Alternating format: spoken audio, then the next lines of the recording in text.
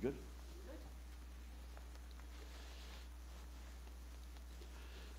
Good morning and happy Groundhog Day to each of you. I'm anxious to see what Essex Ed's prediction is today at the Turtleback Zoo. Uh, I am joined uh, and honored to be joined by the woman on my right, the Commissioner of the Department of Transportation, Diane Gutierrez Scaccetti. To my left, Superintendent of the State Police, Colonel Pat Callahan. To Diane's right, the President of the Board of Public Utilities, Joe Fiordaliso. And to Pat's left, the Director of the Office of Homeland Security and Preparedness, Jared Maples. So we have had quite a 36 plus hour period with this storm. The system is finally pulling away this afternoon and into the evening. And while further accumulations should not be anything like the rates that we saw yesterday, we should continue to see precipitation across the state for the better part of today and into the evening. The state of emergency remains in effect, and I reiterate that unless you need to be out on the roads, please stay in. Some of the snow totals across the state are in, incredibly impressive, uh, with more than 30 inches reported in parts of Morris and Sussex counties and two feet plus in many other areas. We were having a discussion upstairs. I think you'd have to go back maybe to 2010, but probably to 1996 uh, to get a storm with the same level of ferocity, Andrew, as this one had. So this was a big one. There are currently just under 2,000 households without power statewide. Joe will give us a broader update on power, but allow me to personally thank the women and men in the trucks working to get power back to families. I have to say the number, Joe, you'll tell us what it is, but it never got north of 5,000. Um, and if you were to still look for positive surprises in this storm, that's number one for me, uh, in the sense that with the high wind we had yesterday afternoon and the snow driving down, um, and I want to thank the, the utilities themselves as well as the women and men who work for them and are trying still to get folks back into power. There are literally on the roads thousands of plows, spreaders, and other pieces of equipment currently in use to clear our roads, and the state, county, local, toll road authority, and private contractor crews are continuing their work so we can get back up and running tomorrow.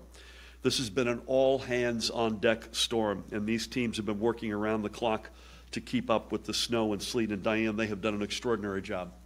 Um, this is, you know, if you're comparing this to two storms, uh, one of which is 11 years ago, the other one is 25 years ago.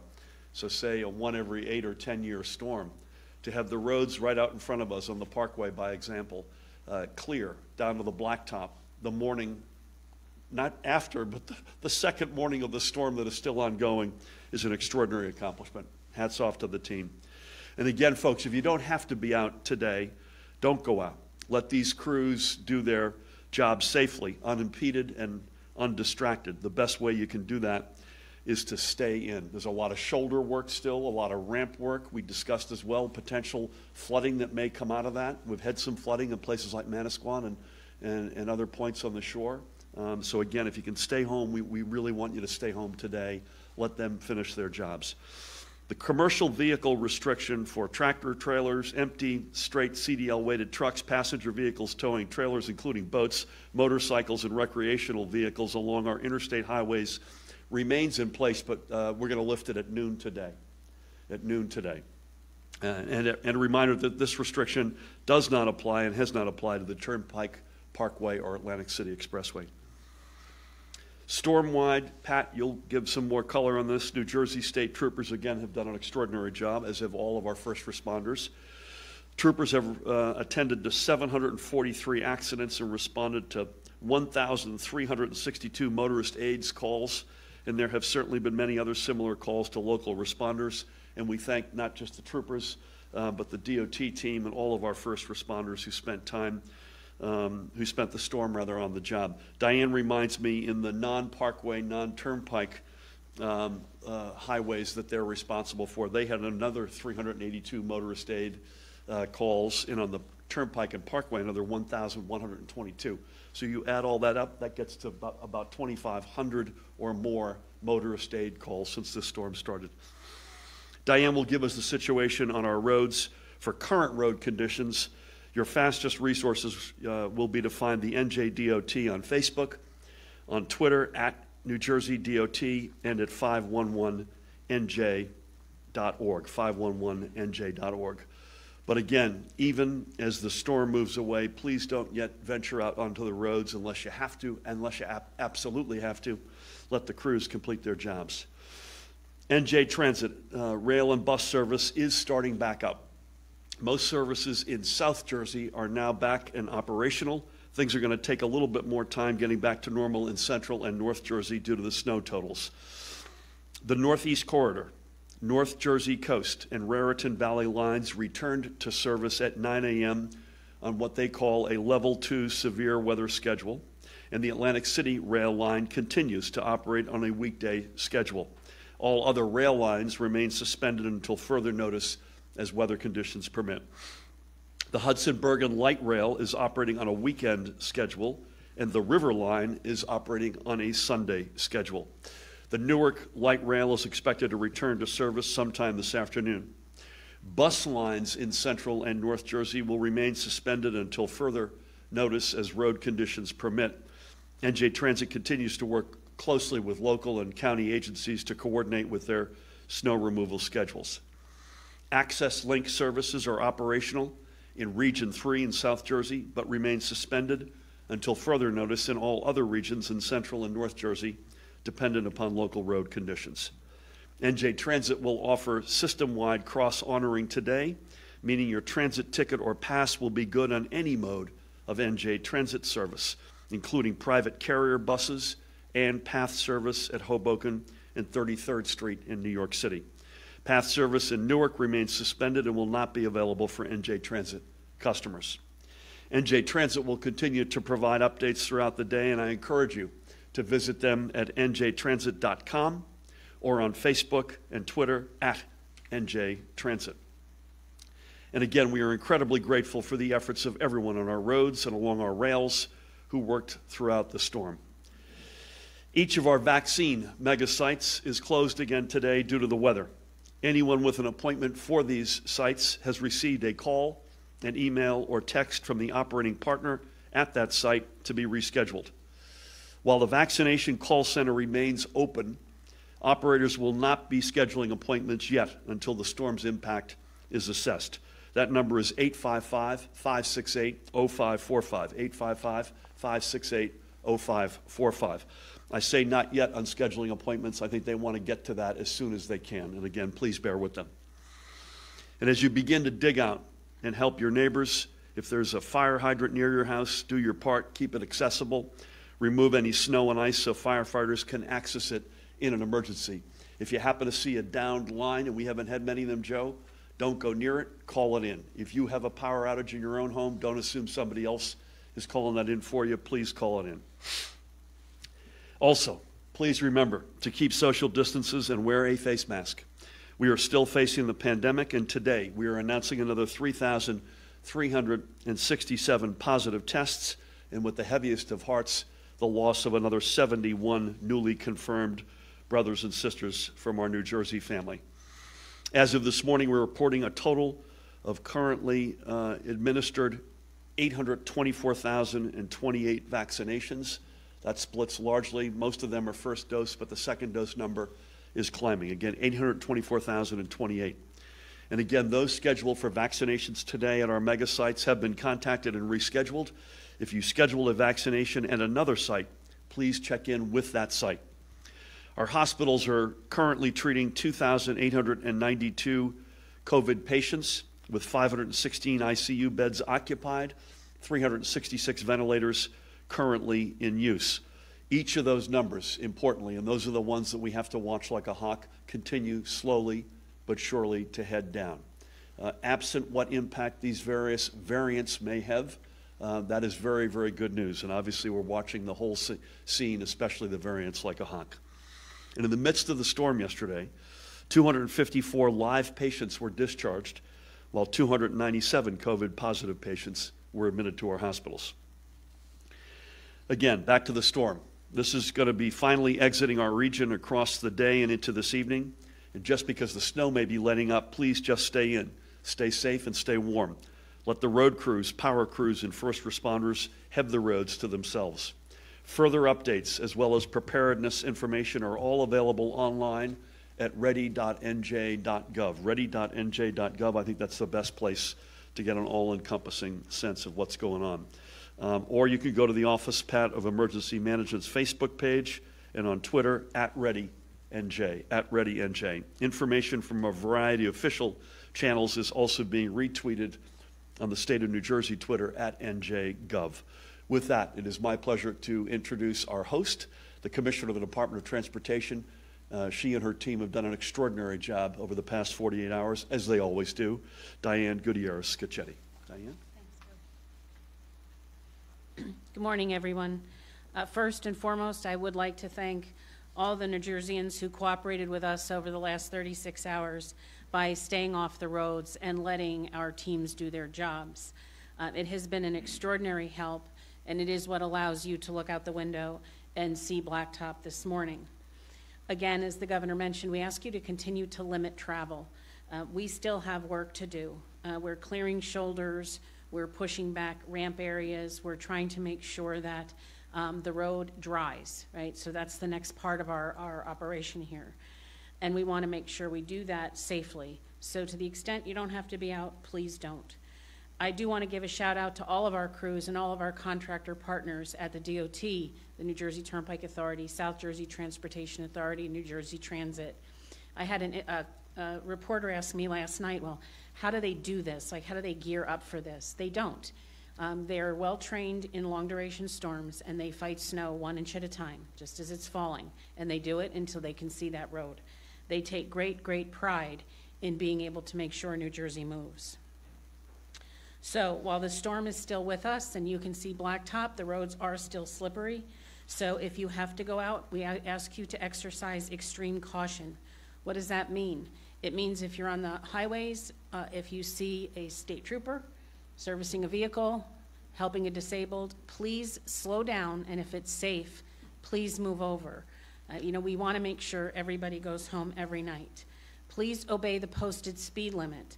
Uh, When we left here yesterday, I think I saw about seven incidents between here and interchange 7A, all single vehicles, all spinouts. Um, Just because you can't see snow doesn't mean there isn't ice. So please, I ask you, whether it's our safety service patrols on the highways or Colonel Callahan's uh, Women and Men of New Jersey State Police, we want everyone to go home every night. We will begin to relax our uh, towing assets and allow them to get back to their normal day-to-day work. Um, We had extraordinary success with the trailer ban, and I think it helped in making sure that the roads were clear and safe, and we got our roads cleared on time. But you will still see plow teams in some areas because there is still snow falling. Please try not to pass the uh, plow team convoy. Governor went through a New Jersey Transit um, and the different operating schedules for them throughout the state. I think the best thing anyone who wants to use New Jersey Transit can do today is to go to njtransit.com. It is where you will get the most up-to-date information depending on your travel schedule. We want to make sure that frontline workers can still get to where they have to go. We echo the same information we provided yesterday. Give yourself plenty of time. Uh, make sure that you have your phone charged. I know the weather looks better. Um, it is still cold, it is still icy. Um, just please be safe. I would be remiss if I did not thank my colleagues and my partners in Pennsylvania DOT, Connecticut DOT, and New York DOT. Uh, we worked very tightly together on the travel restrictions for commercial vehicles, and it really goes to show that a regional approach is the best approach when we're trying to manage traffic. If you need additional information from New Jersey DOT, please go to 511nj.org or New Jersey DOT, at New Jersey DOT on face, on uh, Twitter. I don't do social media, so forgive me. Um, But at the end of the day, um, information is out there and accessible. Uh, My job today, the governor carried so many of the details, rightly so, but the big thanks go to the men and women who have been for the last 40, 36 to 48 hours preparing and fighting this storm, and um, they have my gratitude every day. Thank you, Diane. Great work. Thank you, Diane. To you and your colleagues, many of them are standing in this room with us, guys. Great job to each and every one of you, and for the literally thousands out on the roads. Uh, extraordinary job. Um, with that, speaking of extraordinary job, please help me welcome the Superintendent of the State Police, Colonel Pat Callahan. Governor. Good morning, everybody. And I'll just start off where Commissioner Gutierrez Scaccetti left off with a thanks. Uh, When you see that State Emergency Operations Center get cranked up and activated, uh, that's Board of Public Utilities, it's DEP, it's Transit, it's DOT, um, it's Health, it's Human Services, uh, and it's that partnership and those relationships that we build on its, on those blue sky days that we talk about, and to watch that come uh, together once again in order to make sure that we keep uh, the citizens in New Jersey safe. It's just a tremendous source of, of pride for me, uh, personally and professionally. Uh, to the governor's point, I think this storm may rank as maybe one of the top five. We still have to get some certifications with National Weather Service. Uh, I think it's second to the 96 storm and ahead of the 03, 2010, and 2016. So uh, a monumental storm by all accounts. Um, We did have the county OEM call this morning with our state emergency management partners. National Weather Service did confirm that we're through the teeth of it, but this is still going to last probably into the evening hours with some additional, maybe an inch or two of snow. So uh, still need to, to proceed with caution out there. Um, And I'll just close on a, a non-storm related uh, matter with regard to U.S. Capitol Police Officer Brian Sicknick uh, who was lost in the battle uh, at the Capitol. Uh, The state police had the honor of escorting his family down to Washington DC today in coordination with the Delaware State Police and the Maryland State Police. Um, I know elected officials, they say it's lying in state.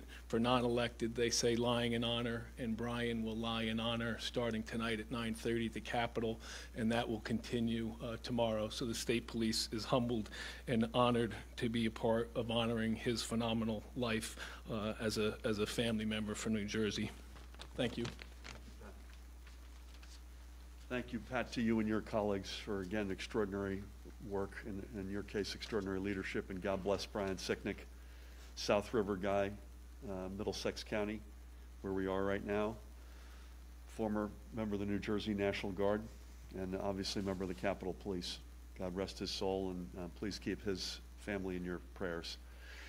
So as I said at the outset, um, surprise number one for me, pleasant surprise in this case. I think the, we had the storm about right in terms of scope. The forecasters, National Weather Service did a really good job, I think, on this one. Our team did a great job sort of getting their arms around the parameters of this.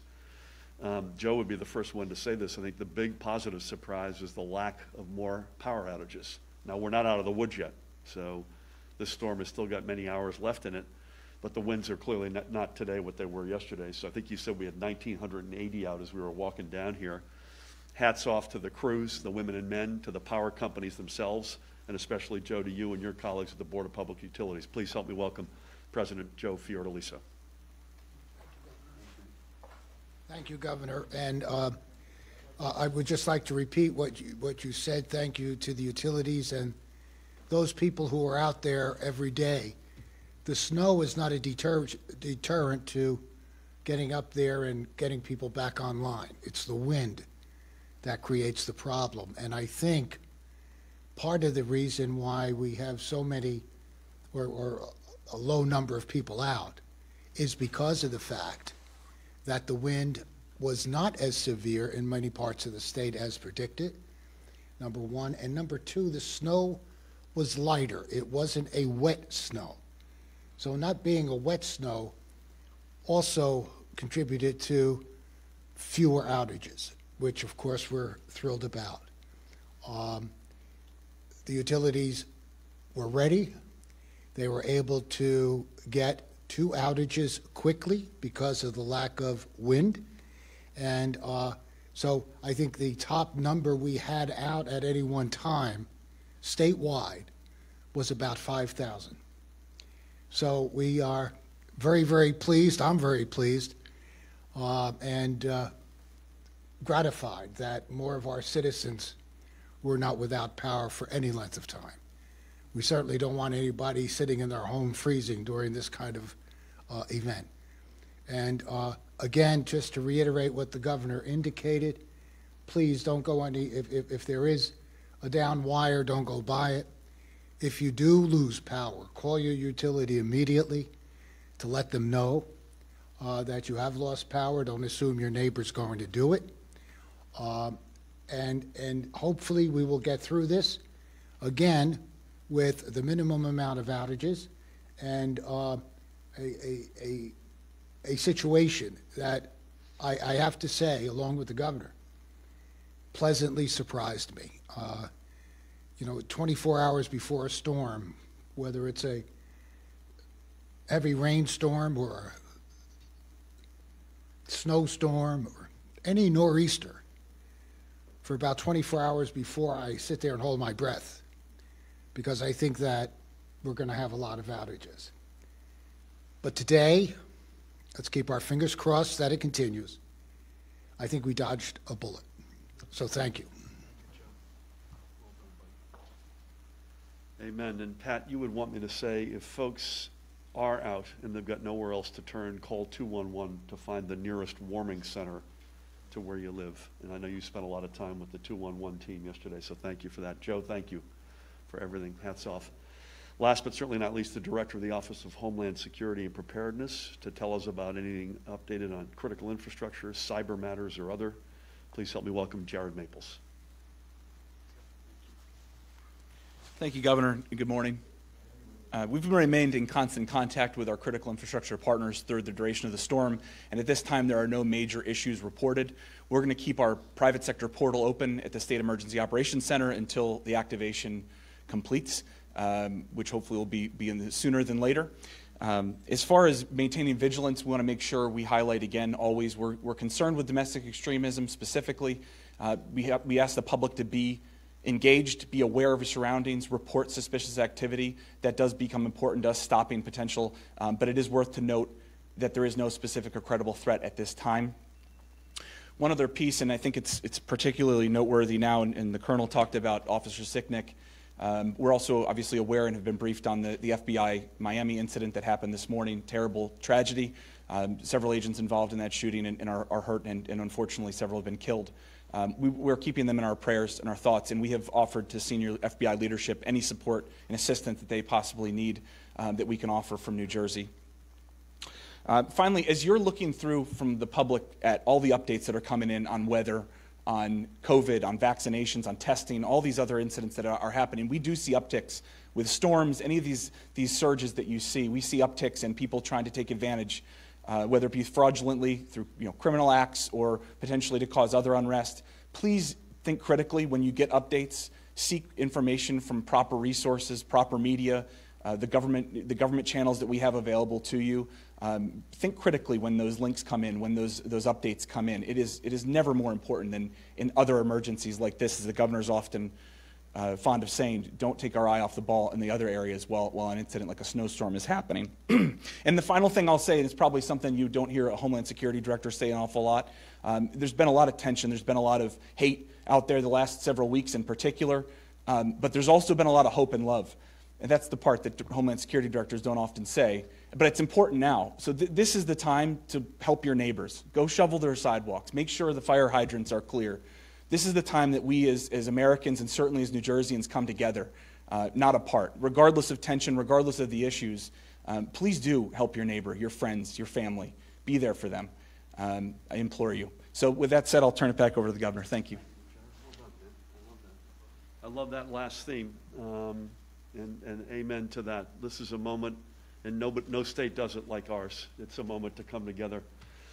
Um, God bless the agents, the FBI agents, and uh, we have a very, led, led by Jared's relationship, but we all share a very strong and deep relationship with the Bureau, and they've been incredibly good partners to us.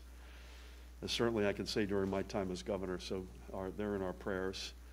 And then, of course, there are the knuckleheads, the folks who uh, are, are not coming together. And I want to reiterate, we haven't said this in the storm until you just mentioned, and I'm thrilled you, you mentioned it. There are, out, there are folks out there right now who are going to try to take advantage of the moment, which is hard to fathom, but there are. Uh, and so just keep, keep a weather eye on that crowd. Thankfully, it's a very vast minority, uh, but they're out there trying to scam, et cetera. Um, we'll take a couple of questions. Tomorrow, um, we are going to go back to our Monday, Wednesday, Friday, largely uh, COVID uh, presser. Uh, we'll probably, Diane, Joe, and Jared will probably work in a few uh, after action updates. I know there are still communities, for instance, that you're still working with. to get them uh, dug out. We will be doing it earlier than we normally do our, our press conferences. We'll be doing this tomorrow in Trenton, unless you hear otherwise, at 11 a.m. Uh, and that is in part so that some of us can go and begin to greet. Uh, they'll be coming back in waves, members of our National Guard, women and men who have been in Washington over the past number of weeks. And so thank you for your patience to allow us to do it at a different time tomorrow. Again, it'll be in Trenton at 11 a.m. unless you hear otherwise from me. You've been here the longest, you get the first question. What do you think the biggest challenge moving forward in this storm? Biggest challenge moving forward in this storm, thank you for that. Um, I would, I was prepared to say getting people's uh, power back on, and that is going to be the laser focused for the 1980, and that num- num- number, Joe, probably goes up and down uh, over the course of the, of the day. I think keeping people off the road so that they don't have a, they don't feel like they're spiking the football too early, because Diane and her team needs to have full access. I mentioned we had this conversation upstairs, ramps, uh, shoulders. Uh, you, you, you, their, their first job is to make a road passable, then get it down to blacktop, then widen the road back out to its, um, you know, its, its, its safe uh, width. I'd say that's our biggest challenge right now. Um, and they've done an extraordinary job, and they will continue to do that. But I'd, I'd love to ask people to stay, resist the temptation, stay home, let them finish that out, and hopefully tomorrow we can get back to some semblance of normalcy. Thank you. Please. Governor Murphy, good morning. Good morning. It was seven on your side, we haven't met yet, but thank you for allowing the questions. Nice to meet you. Likewise. We just wanna Happy to take them. It'll depend on the question, of course. On, on topic, if you will. So, we, um, we did a Zoom yesterday with a Facebook group. um, With what? A Facebook group of two hundred people in New Jersey who have not had their unemployment benefits. Can you tell us when and why there has been such a gap when New York, New York and New Jersey, New York and Connecticut were able to do a seamless, um, transition? People are hungry, people told us they sold their cars, to buy diapers, they're on a food line, these are hardworking people in New Jersey that haven't been paid in six weeks in a system that they paid into. We Yep. just wanna know when check. Couple of things. First of all, I hope the answer is soon, uh, and I know they want to hear that, and I hope that uh, uh, as well. We have nothing but empathy and sympathy for these folks. Um, with all due respect to the comparison of other states, this is not going to make them feel any better. So this is not intended to either as an excuse or to make them feel better. I'd put our record up against any state right now, either the past year during the uh, crisis, the COVID crisis, or as a general matter. 96 plus percent of the people who are eligible have at least received a first payment. Um, we've put on the street uh, 20 plus billion dollars between our money and the federal money. Um, it is almost always the case, unless there's some sort of a system breakdown of which I'm not aware, and Dan Bryan is here who will follow up with you to find out any specific reason for this cohort. Um, it is almost always related to the very specific issues to that person. In other words, early on in the crisis, or when there's a big shift in, in payments. So, for instance, uh, the president, President Trump in this case, um, couldn't get through Congress uh, an extension of the unemployment benefits, so he went to already appropriated money in FEMA. Uh, that's a system, that's a whole new system, so there are system issues, as an example, when that happens. Aside from those big moments, this is almost entirely and exclusively related to the very particular circumstances of the individual. So we'd love to follow up with you. We'd be very happy to connect with that same group. Uh, I know our Commissioner, Rob Asaro-Angelo, would be willing to do that, uh, and Dan Bryan will follow up with you. I don't know, sir, if it is individual. It seems like it's I- fifty-five thousand people. Yeah, I'm not sure that's numbers right, so, but I, I'd like to follow up with you and, and, uh, and get to the bottom of it. Again, I, I, I- I will, I'm not trying to make anybody feel better, uh, if they haven't gotten their money. They'll get every penny that they're rightfully owed. Um, but I'll put what we've done over the past twelve months through the Department of Labor up against any state. With that, I'm gonna say thanks to Diane for hosting us, Joe, to, thank you as well. Um, Pat, Jared, the whole team, you've done an extraordinary job. Keep up the great work. Folks, again, please do me one favor, stay off the roads uh, through tonight. And I think tomorrow morning we wake up in a whole different reality. Cannot thank you enough to each and every one of you who have done the right thing overwhelmingly. God bless you all. Stay safe.